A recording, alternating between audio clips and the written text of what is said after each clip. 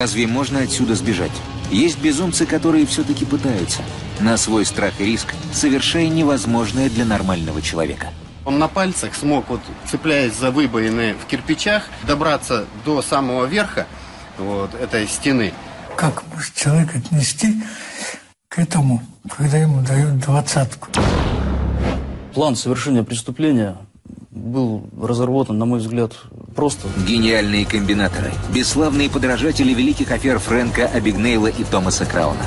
Они тоже рискнули устроить из своего побега настоящее голливудское кино. Преодолеть семь полос, это, ну, это запредельное что-то. Высшие силы помогали. Все, человек шел на все. Идеальные побеги, если и случаются, то только в кино. А в реальной жизни беглецов ловят и снова возвращают в тюрьму. Вместо хэппи-энда в финальных титрах банальный конец. От трех до восьми лет за побег к основному сроку. И прекрасно все осознают, знают, что рано или поздно они будут пойманы и обратно возвращены в места лишения свободы. Но, тем не менее, глоток свободы делает свое дело. В любом случае, наказание неотвратимо.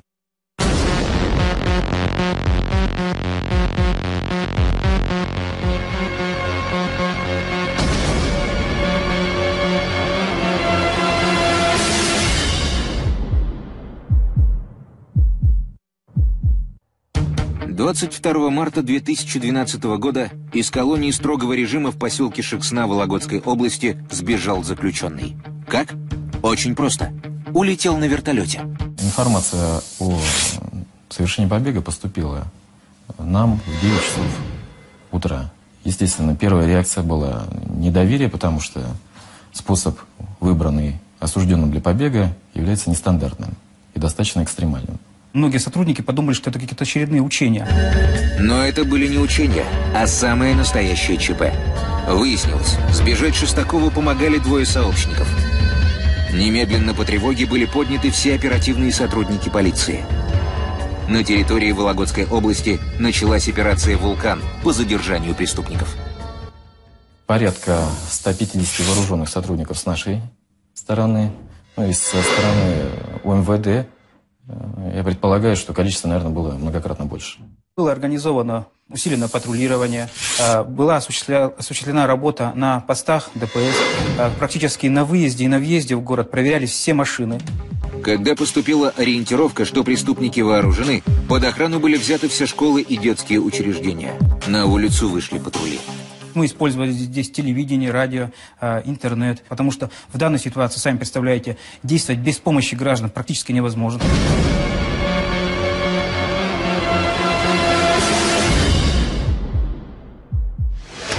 Из личного дела Алексея Шестакова. 1976 года рождения. Осужден по нескольким статьям. Воровство, грабеж, убийство. Получил 24 года. Отсидел из них больше половины. Через 8 лет Шестаков мог подавать прошение о досрочном освобождении, но выбрал побег. Причина, как оказалось, очень личная. Мы с ним познакомились 12 декабря, и у нее был, оказывается, день рождения в этот день. То есть я разговаривал по телефону с человеком, общался. А она оказалась, скажем так, вот рядом. Она – это Татьяна Важалина. Они никогда раньше не виделись – зато могли часами говорить по телефону. И однажды Шестаков понял, он пойдет ради этой женщины на все, даже на побег. Ну, роман был, очевидно, да. Роман был, и, возможно, они испытывали какую-то симпатию друг к другу. Из личного дела Татьяны Важалиной. 1976 года рождения. Ранее судима за незаконный оборот наркотических средств. Отсидела три года. Почему Я скажу тебе несколько очень Вот очевидно, что Шестаков втерся к ней в доверие. Она, будучи человеком, который способен вовлечься в какие-либо интриги, вот, согласилась ему помочь в этом. И Шестаков решил, пора действовать. Цель ясна. Осталось определить способ – как? Было несколько вариантов. То есть прыгать на забор глупо. Подкоп пищевод. Ну, с нынешними этими самыми аппаратурой и так далее тоже глупо. То есть это нас- насколько же надо вглубь, вглубь уходить, короче, чтобы сам, чтобы докопаться. Шестаков выбрал самый неожиданный и изящный план побега.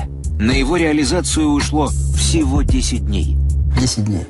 10 дней? За 10 дней всего? Да.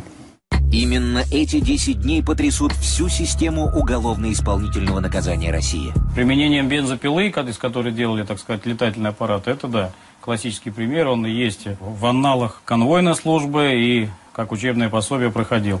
А с применением, конечно, вертолета, это первый, наверное, случай действительно вот в России.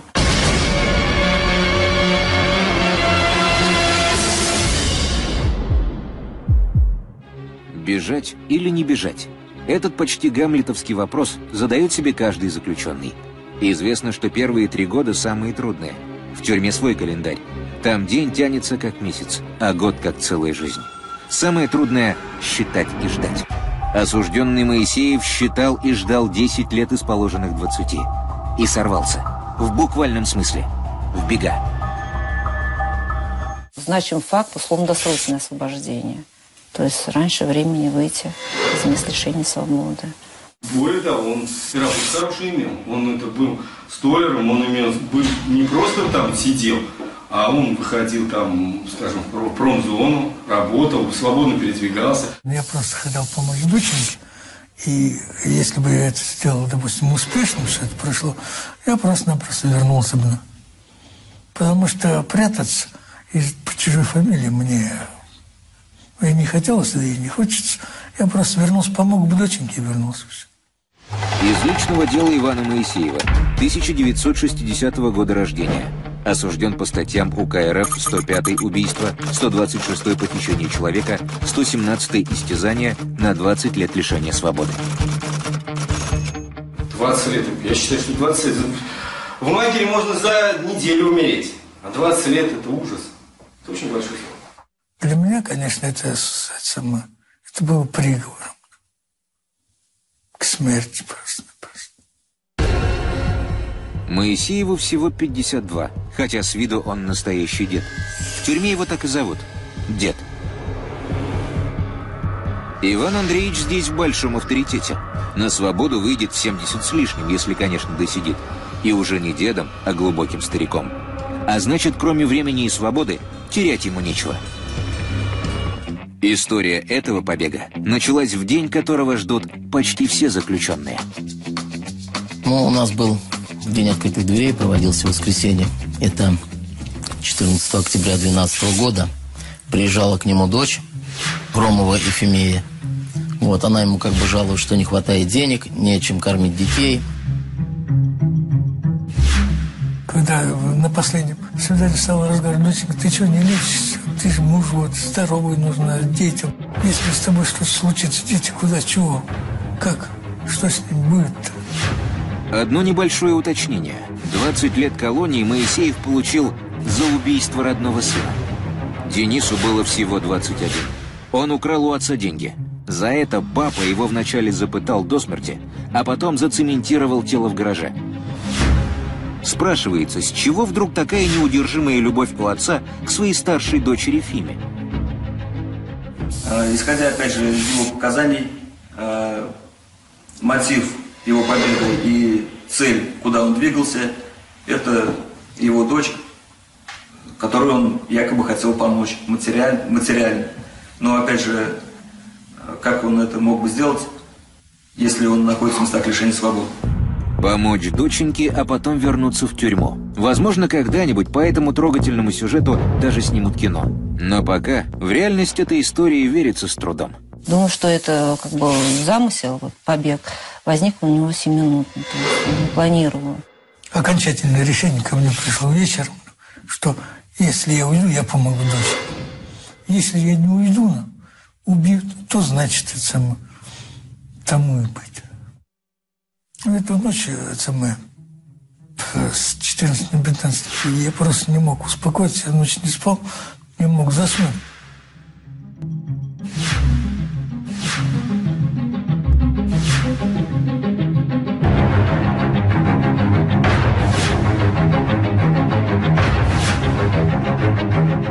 Улучив момент, он э, при помощи деревянного шеста и проволоки э, сделал замыкание в электроцепи, тем самым обесточив на непродолжительное время колонию, где он содержался. Он вопросы по электрике кое-какие знал, в связи с чем даже доска была прислонена ближе к фонарю. Это ведь все элементарно. Господи, человеческое соображение. Только самый тупой не сможет это сделать. Человек незаурядной способности преодолеть семь полос это запредельное что-то. Ведь он как бежал, он руками раздвигал проволоку колючую, ягозу. Его взять нельзя в руки. Все равно, что брать нож и проводить руками.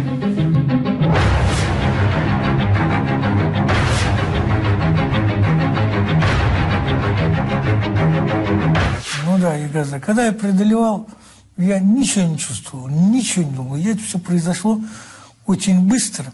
И происходило все как, как в тумане. Что я еще могу сказать по поводу этого? Как то, что быстро он перемахнул забор, и все.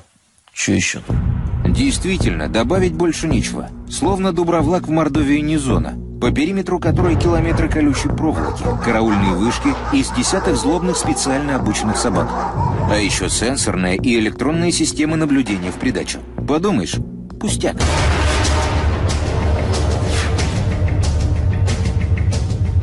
Говорили, что там женщина была, она его видела якобы, но не стрельнула. Она подняла тревогу, то есть сделано все как надо, но не смогла выстрелить якобы. Если бы она, она могла выстрелить из автомата, и все бы это оборвалось. В недавнем прошлом все зоны охраняли солдаты-срочники.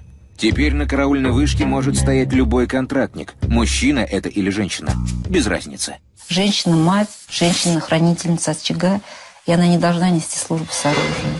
Но, к сожалению, всегда так получается. Женщина, а женщина более вынослива у нас. Может быть, он бы и не убежал, если бы там не, не женщина была на вышке, которая бы как, стрельнул бы какой.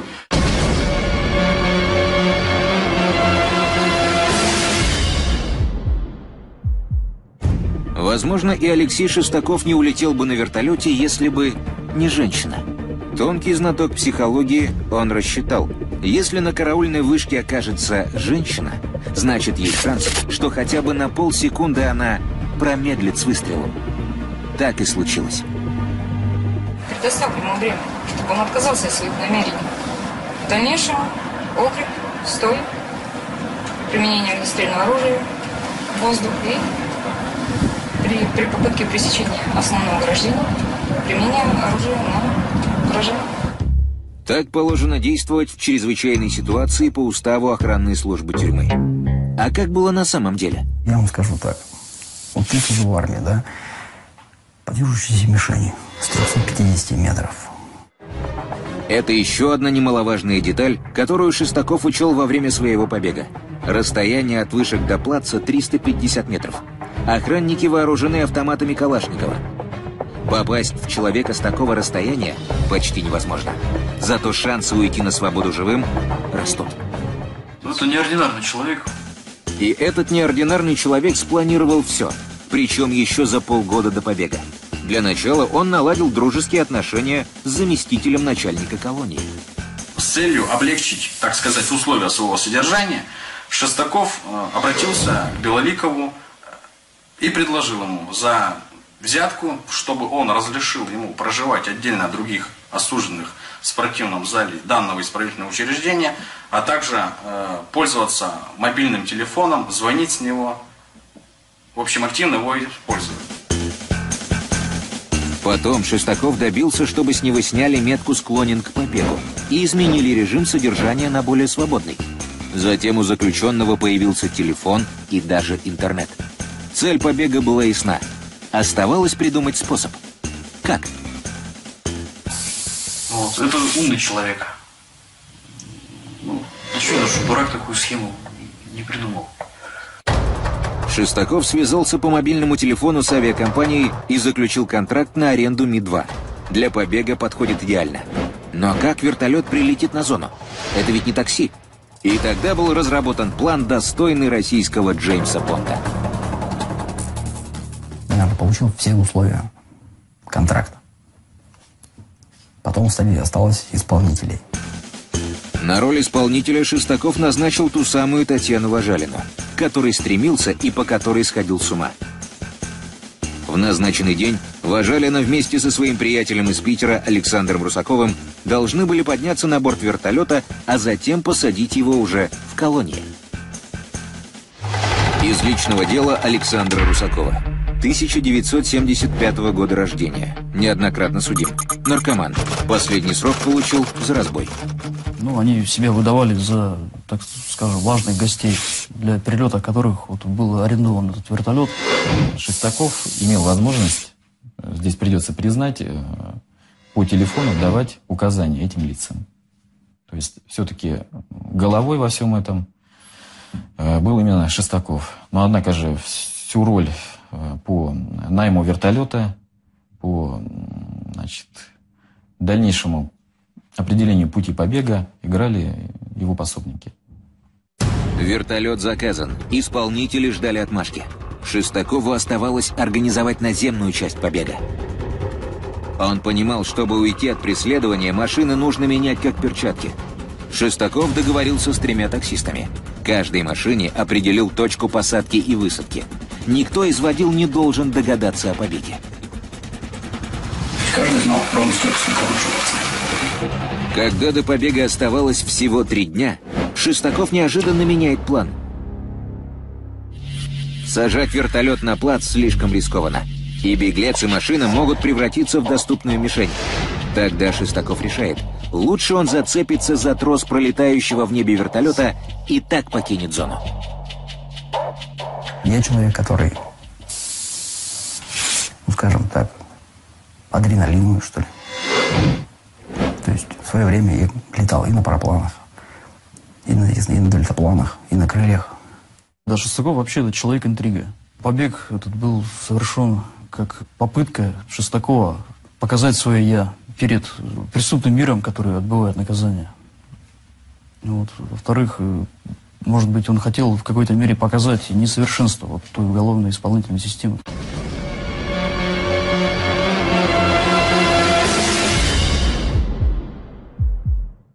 Человек-адреналин. Человек-паук. Именно так называли Виталия Островского, заключенного из Бутырской тюрьмы, который тоже решил проверить на прочность уголовно-исполнительную систему. Неординарно относился к сокамерникам, так сказать, отрабатывал, можно сказать, на них технику ударов, прыжки, резкое взбирание по отвесным стенам, вследствие чего его и прозвали-то Человек-паук. Чтобы спланировать идеальный побег, должен человек обладать достаточно очень высоким уровнем интеллектом, соответственно, вот, физической подготовкой.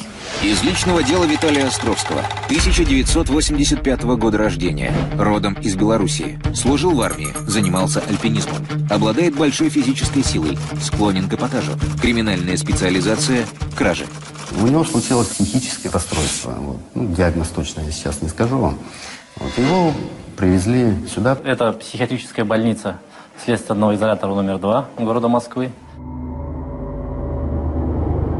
Островский понимал, что долго его держать в психушке не будут, и в скором времени переведут в обычную тюремную камеру. Однажды, сидя на шконке, он услышал, как охранник открывает дверь.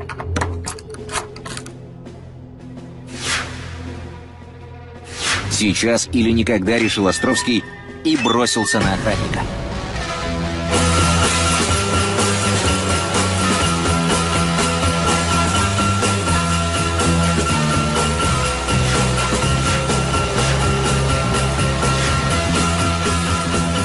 После того, как толкнул охранника, значит, он спустился по лестничному маршу и выбежал вот в эту дверь. Это как раз была на тот период рабочая дверь, через которую осуществлялся вход-выход на данный корпус. И вышел вот сюда во двор, значит, путь его был вот туда в угол. Вот в этом месте, вот вы сейчас видите, э, идет стена. Вот эта стена высотой была вот прям до самой вышки. Подготовка его была настолько физически хороша, что он на пальцах, цепляясь за выбоины в кирпичах, смог добраться до самого верха стены и оказался перед часовым. Часовой среагировал, увидел, но не успел. Он пока сделал предупредительный выстрел вверх, а, он уже перепрыгнул через забор, а в сторону уже за забор стрелять часовой не стал, потому что там находятся жилые дома, вот, и могли попасть э, гражданские люди. Его задержали аж в Финляндии, вот, и потом передали сюда. Вот, он бегал, прошел все, считайте, границы, это и Россию, и фин, финскую границу. Вот, задержали его финны, вот тоже там на попытке кражи депортировали сюда, и здесь он уже за побег э, был осужден. Вот, дали ему три года общего режима. Вот, и сейчас он будет направлен отбывать наказание, а после чего будет уже передан в Белоруссию.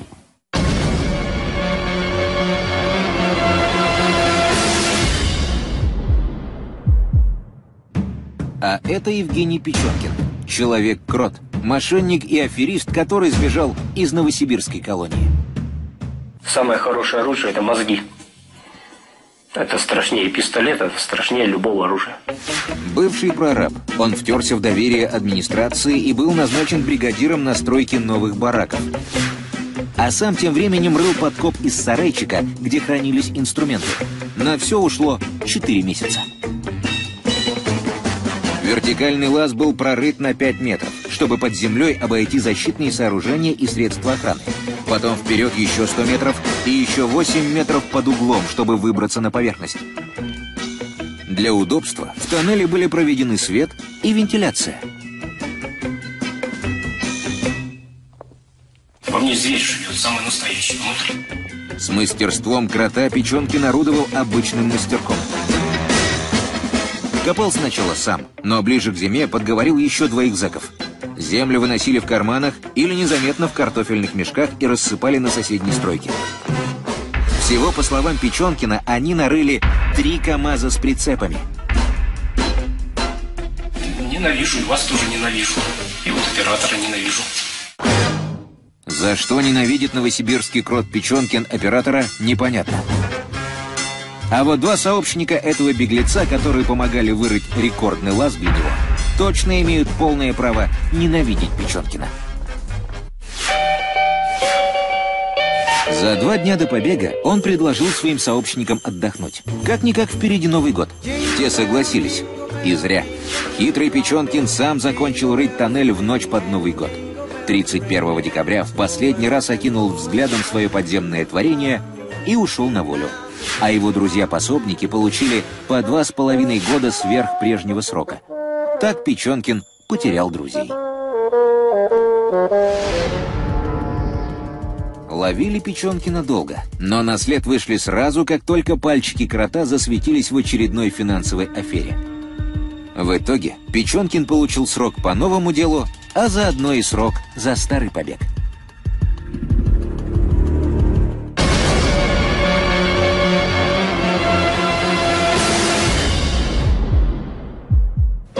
Неважно, кто ты, человек-крот или паук. Каким бы гениальным не был задуманный план побега, и как бы удачно все ни начиналось, заканчивается все одинаково плохо.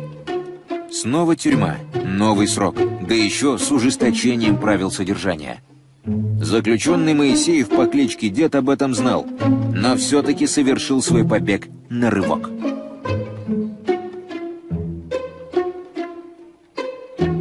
Конечно, я считаю, что мне высшие силы помогали. Конечно, считаю, пусть это вам смешно покажется, что мне помог ангел-хранитель.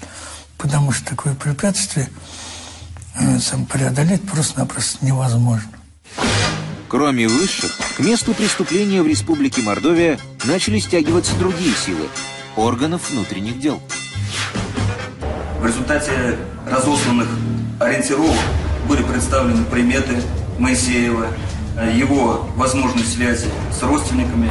Он бежал в сторону леса. При этом, упав, перекувыркнулся, почувствовал, что себя как бы в воде, почувствовал, что ноги не достают дна, решил, что это речка. Ну, как, кстати, я в Казани работал. Выйти на какую дорогу из леса просто-напросто.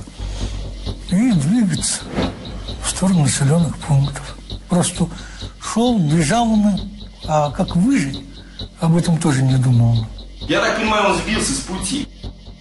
Завидев в сумерках огни какой-то деревушки, Моисеев решил, что отсидится там. Подходя к деревне, его пугнула собака. Он, обходя по левую сторону, увидел дом. Дом был жилым, но хозяина не было. Осторожно обойдя вокруг жилища, Моисеев нашел лаз, через который можно было забраться в подпол и там дождаться, когда его перестанут искать. Ну, сохранился то самое, под домом, ну, потому что к этому моменту уже меня искать стали. Под домом просидел двое суток, на корточках так вот мокрый, не ел, не пил, потому, потому что были обыски, потому что искали, потому что везде были сотрудники.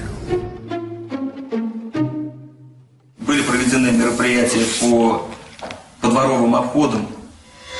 То есть э, сотрудники э, учреждения по исполнению наказаний совместно с э, сотрудниками органов внутренних дел прочесывали буквально всю местность, прилегающую и расположенную рядом исправительным учреждением. Сидеть в сыром подвале в осенние ночные заморозки было тяжело. Моисеев решил перебраться на чердак. Да и наблюдать сверху за деревней было удобнее. Поднялся на крышу, и там еще двое суток ну, просидел тоже. Ну, без питания просидел бы, а без воды стало ощущаться нехватка воды в организме. Пить очень хотелось. Я соображал, что ищет, что еще сутки, может, оцепление снимут, перестанут машины ездить, и потом пойду дальше. Словно загнанный зверь, беглец наблюдал, как его ищут. Стоило ли бежать, чтобы сейчас сидеть в полузаброшенном доме голодным, замерзающим, одиноким? Ну, нет, не скажите, это тоже свобода. Чтобы это почувствовать, тебе нужно просидеть десятку. Конечно, был я на свободе. Я говорю, ну надо бежать в сторону Москвы.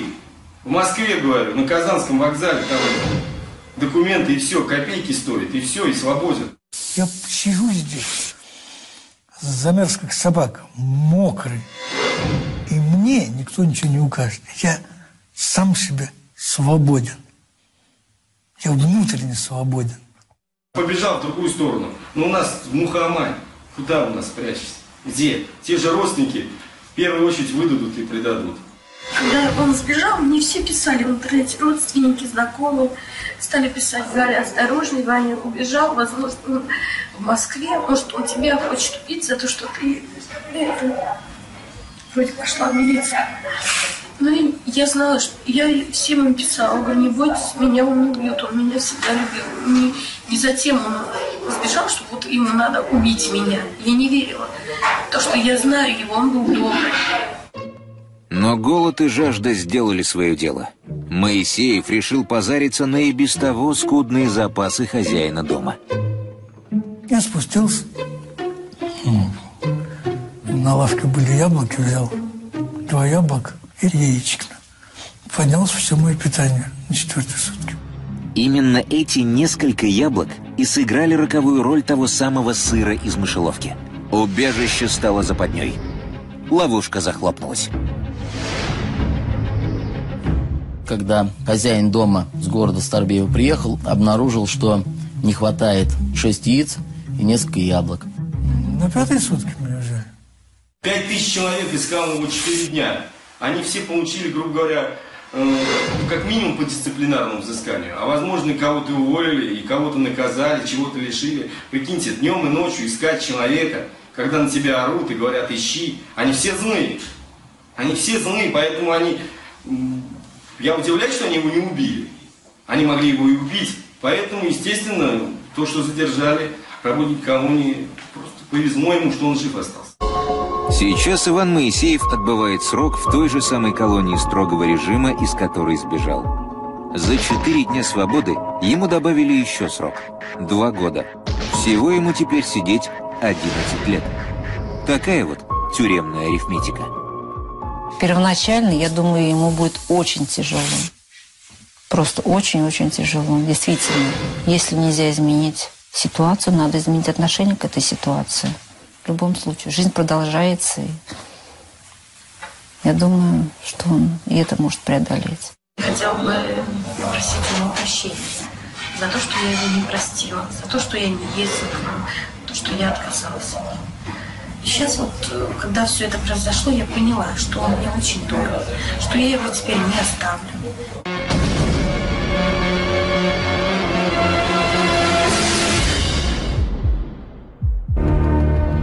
8.30 утра.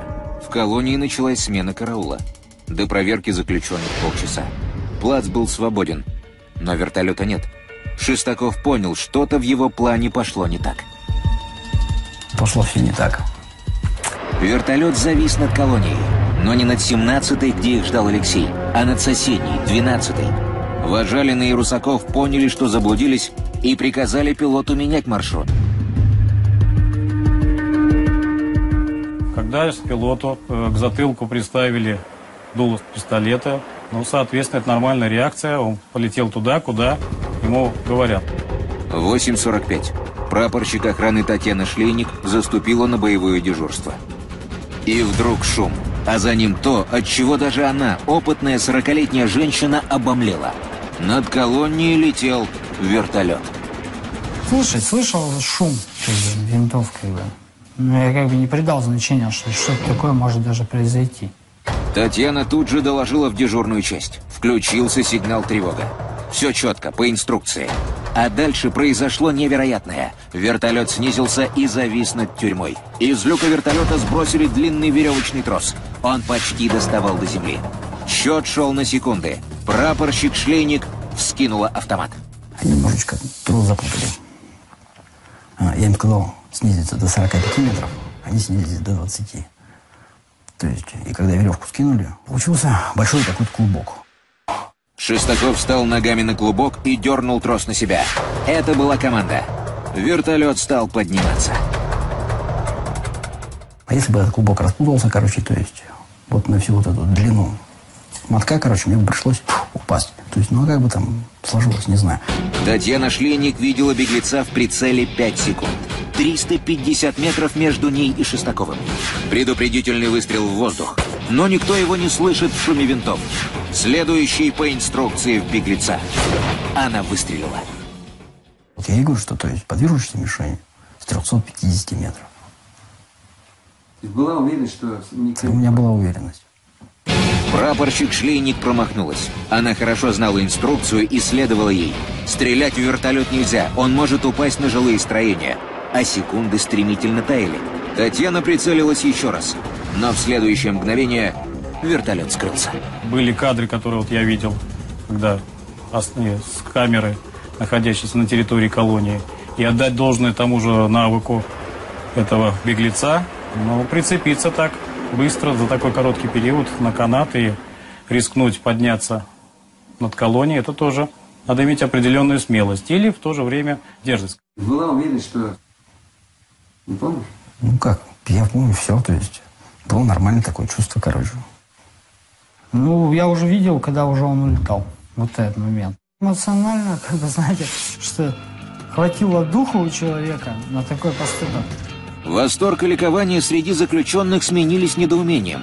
Кто этот сумасшедший?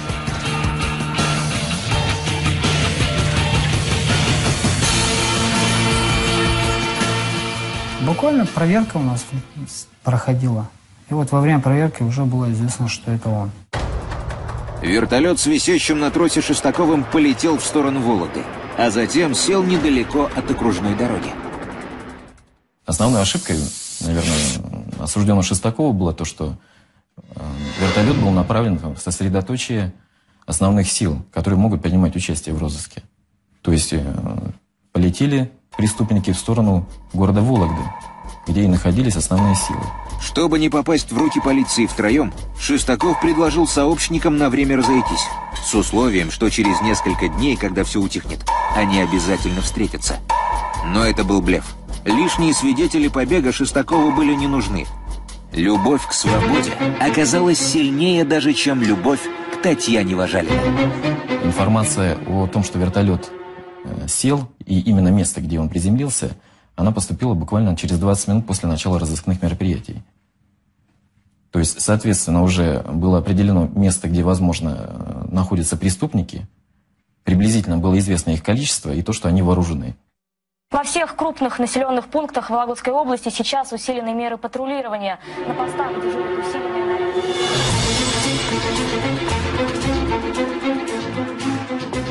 Частично прошла информация, опять же, со слов э, жителей о том, что преступники разъединились. Часть из них села в машину, э, кто-то из преступников ушел пешком.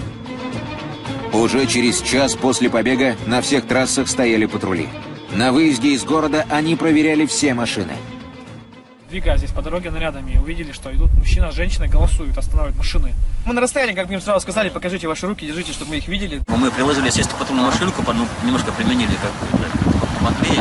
Она немножко упер, чтобы не имейте права, чтобы делать. Она, она улыбнулась, да, у нее зуба не было. Это веско пример. Чистаков Александр Александрович. Год рождения? 75-й. Судимость есть? Есть. Когда, за что? Не помню точно. Статьи? 162 175 Фамилия и отчество? Ложелин Татьяна Владимировна, Год рождения? 76-й. Судимость есть? Конечно. Все. А машина с Алексеем Шестаковым мчалась в это время в сторону Ярославской области. Ну, скажем так, я проехал два, два поста спокойно. То есть никто не остановил или просто никто не... Нет, ну, остановили, открыли машину, посмотрели, не пустили дальше. Третий пост проскочить не удалось. Ну, где-то стояли мы в Пирогово часа, наверное, три. Останавливали все машины, проверяли, работали, как обычно, по плану «Вулкан». Вот на одной машине, которую мы остановили, оказался пассажир. Пассажир вел себя странно. К тому же явно притворялся пьяным. Насторожили и документы. Фотография и лицо пассажира явно не совпадали.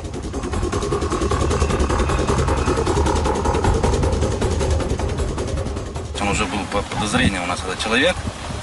То есть, и когда вот произнес эту фразу, что доставайте наручники, он сразу трепенулся как бы отпрыгнул вглубь машины. Я вот видел чеку от гранаты. А я подумал, это фонарик. Того я говорю, что пугаешь меня фонариком? Какой? Какой это фонарик? Стреляй, пореза, пистолет. Вот тут, конечно, уже ёкнуло сердечко. И отбежали в свою машину, спрятались, чтобы, думаем, сейчас, если будет взрыв гранатный, чтобы прикрыться от осколков своей машины патрульной. Прошло три секунды. Взрыва не последовало. Шестаков воспользовался заминкой. Мгновенно перебрался на переднее сиденье и нажал на газ. Сотрудники ДПС открыли прицельный огонь по колесам. Но машина уже сорвалась с места. Ну и, в принципе, сразу открыли пальбу. То есть я еще только сел на заднее сиденье, то есть у меня уже, в принципе, свистело над головой. Он доехал до знака Грязовец, скинул машину и побежал в сторону Ударстроя, ну, строительной компании дорог. И он бежит где-то слева от нас, в сторону гаражей. В нашу сторону направляет пистолет и такие движения делает, как будто бы он стреляет. Только движение вот такое, в нашу сторону.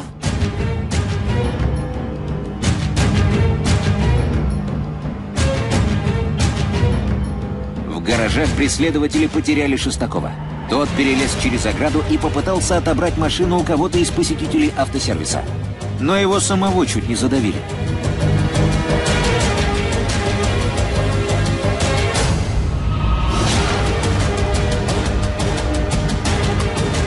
Его сотрудник единственной охраны бежал на прицеле. Кричал ему. Бросай оружие, ложись на землю.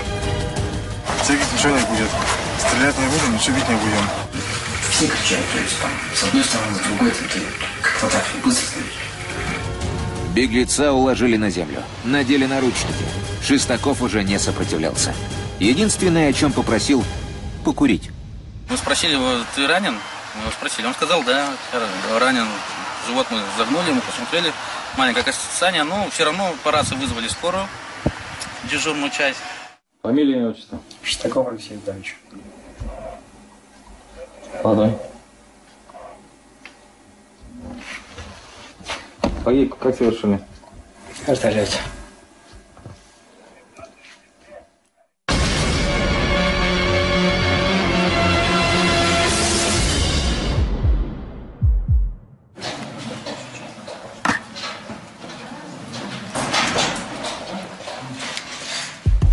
И так бывает. Убежал один, а поймали сразу троих. На всех вместе получили 47 лет тюрьмы. Без комментариев. Назначить Шестакову в чудоположении части 2 статьи 58 Кодекса Российской Федерации наказание в виде 24 лет лишения свободы с отбыванием первых пяти лет в тюрьме. Я сейчас нормально, скажем так, возник. Никак. Суммировался кто знает. Ну, осужденный достаточно воодушевлялся при появлении э, значит, интересующихся им сотрудников, э, представителей СМИ.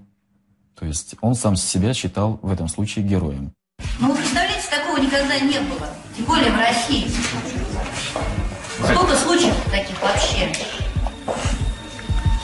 Не потому что попасть в историю. Вы все раздули такое прям, я не знаю, ма, побег, захват. Все значительно проще. Прикольно же вышло. 24 года сидеть Алексею Шестакову.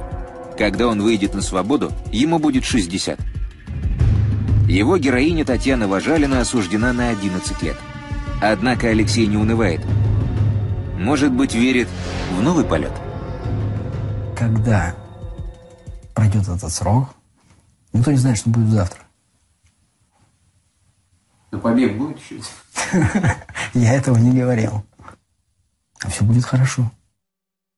Иркутской области разыскивают опасных преступников, которые сбежали из колонии строгого режима. Это произошло в поселке Марково под Иркутском. Как рассказали в областном управлении службы исполнения наказания, четверо осужденных сделали подкоп под забор. Сбежавшие зэки отбывали наказание за убийство и грабежи. За свои преступления бандиты получили от 7 до 25 лет лишения свободы. Четыре месяца велись поиски беглецов. 12 подразделений МВД, ОМОН, СОБР прочесывали непроходимую тайгу площадью в несколько сотен квадратных километров. В зоне особого внимания оказалась не только Иркутская область, но и соседняя республика Бурятия. Чтобы не выпустить преступников из предполагаемого района и затянуть так называемую петлю поиска, были привлечены специалисты из Москвы. Поиски осложнял пресловутый человеческий фактор. Стало известно, что один из бежавших преступников, Владимир Авдеев, бывший военнослужащий десантно-штурмовой бригады ВДВ, обладает навыками выживания в экстремальных условиях. Правоохранители понимали, найти и обезвредить Авдеева будет непросто.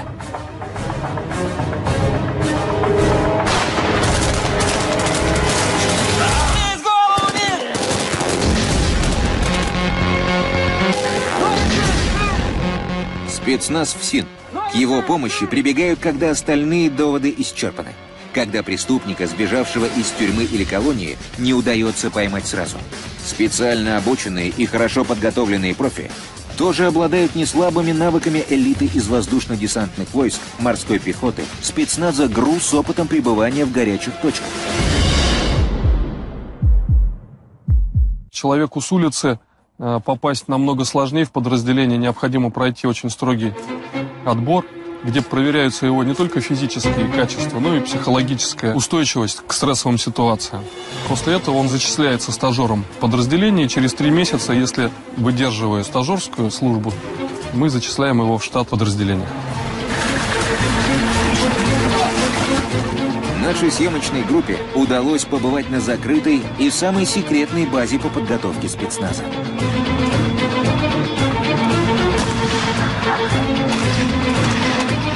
Ежедневные тренировки закаляют характер бойца. Спецназовец должен уметь выполнять задачи любой сложности и на любой местности.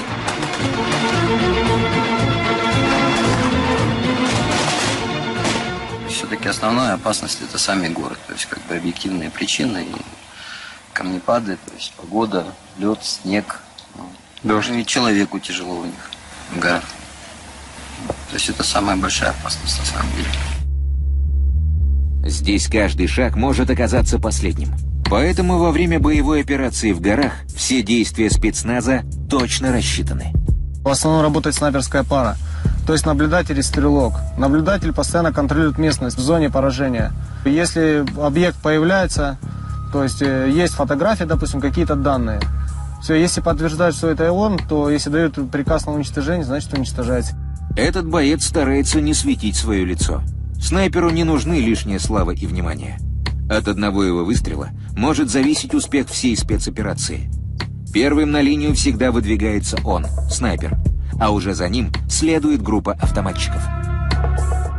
Мы не вправе выдавать все тайны спецоперации по поиску и захвату иркутских беглецов. Можем только сказать, что все делается профессионально и грамотно. 12 июня, почти через месяц побега, под стражу был взят первый из сбежавших – 27-летний Юрий Прохоров. Искусанный комарами и мошкарой беглый зэк прошел 300 километров по тайге, прежде чем решился выйти к людям и наняться на работу в коровник. Даже не за деньги, за еду. Шел наверх, ну, на, трактор. Там деляна, два мужика работают на деляне. Лес таскают. Я подошел, у них спросил сигарет, они мне дали. 4 июля на окраине Улан-Удэ взяли еще одного, 28-летнего Александра Рыбакова. При задержании он не успел оказать сопротивление. Да, у меня было оружие, это автоматический пистолет. Я его взял на одну из дач. 26 июля был задержан третий беглец. Константин Павловец преодолел по тайге 500 километров от Иркутска до родного села Косой Брод в Нижнеудинском районе области. Ночью он постучал в свой дом. Ему открыл отец. Они проговорили до самого утра. Это было нелегко, но отец все-таки сумел уговорить блудного сына добровольно пойти в полицию и сдаться. На допросе Павловец рассказал все в подробностях. Где скрывался сам и почему все четверо подельников разбрелись по тайге. Болото, прятаться. Все там закопались. Этот вертолет над нами, вроде там все, ну, летает, летает, летает Авдеев, поднимается и на хода. Ну, когда увидел, что их высаживают. А мы так и не, не вылазили из этой болота, мы сидели в этой, в этой кустах этих там. На свободе оставался лишь 38-летний Владимир Авдеев, которого теперь уже не без основания можно назвать дерзким организатором побега и лидером группы. Петля поиска сужалась. Шансы преступника выскользнуть, остаться на свободе и выжить были практически сведены к нулю. Рано или поздно, или он сам, как бы, там, в тайге его, или дикие звери задерут, или он сам там, может, от обезвоживания, или какие-то раны получит, травмы, там, серьезно не сможет никаких медикаментов достать, там, начнет загнивать и от болезни умрет, или в конечном итоге все-таки поймают. Так и случилось. Холод и голод выгнали Авдеева из тайги. Он сам вышел к людям. На заготовительный участок около поселка Большой Луг. Без документов и лишних объяснений нанялся в рабочие и решил затаиться до поры до времени. Не вышло. Чужака в тайге вычислили сразу. Взяли Авдеева рано утром. Оказать сопротивление преступник не успел. Операция по его захвату длилась почти 4 месяца, а закончилась в считанные минуты. Сейчас Авдеев дает показания. Ты ну, намеренно как бы их одних оставил? Нет, они сами потерялись. Ну, в тягости они те были, да? Да, мне без разницы. Да, Америка, что жить без вами скрываться. Во время операции по захвату Авдеева спецназ обошелся без крайних мер и даже не применил огнестрельное оружие. Но можно не сомневаться, какими бы хитроумными и коварными ни были замыслы беглецов, ответ на их преступные действия всегда будет жестким и адекватным.